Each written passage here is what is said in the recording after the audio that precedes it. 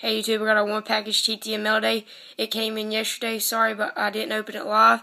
It is Peter Tago on a Heritage. This is for trade. I'm looking for 2012 Pro Debut because I'm doing the set. So this is for trade. And me and Autographs 101 are graphing tonight versus Kannapolis. We graphed last night, but I'm going to make a complete video tonight or tomorrow. So stay tuned for an IP video. And thanks for watching.